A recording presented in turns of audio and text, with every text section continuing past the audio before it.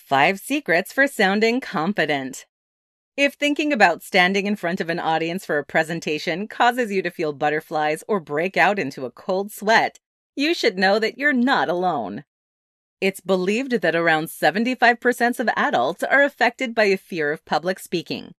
But rethinking the way you think about stress can have a positive impact on your physical and mental performance.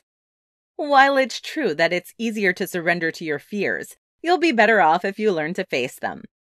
For some, it only requires a little bit of effort to get past their fears, but others require more effort and may even need some tips and tools to get through the process. In this presentation, I will provide you with the five secrets for ensuring you sound confident during your next presentation. Use humor. Typically, a joke to start things off will get the presentation moving in the right direction because it will help you relax and lighten the mood of the room. Laughter somehow creates a bond, particularly if you're able to get the audience to join you in laughing at yourself. Laughing at yourself is a way to humble yourself, and when others join you, it creates trust. Plus, laughter shows your audience that you're really not all that different from them. Focus on those that are nodding. If you feel like you're not connecting with your audience, it can be quite worrisome. And if there are members in the audience that seem disinterested, it can be even worse. Usually, though, you'll be able to look out and see those who are nodding, which can be incredibly reassuring. When you focus on these people, it can help you feel more confident. Be expressive.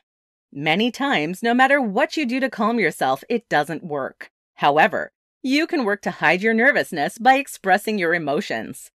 If you're talking about something you were excited about, play up that excitement. On the other hand, if there was something that was incredibly disappointing, play up that disappointment. You may find that it's easier to hide your nervousness by using other emotions than it is to suppress it.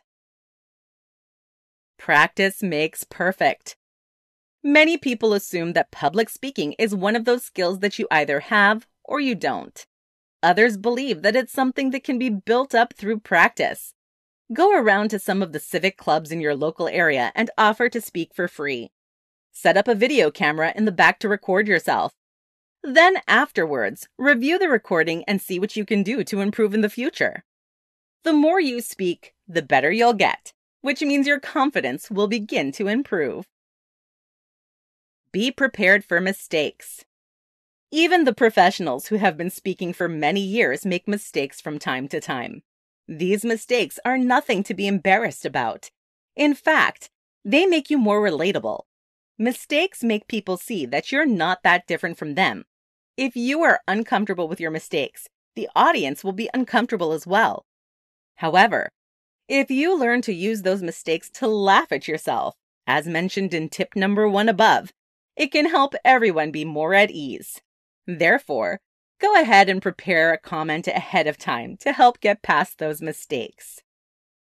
Conclusion If you tend to get nervous when preparing a presentation, you're not alone.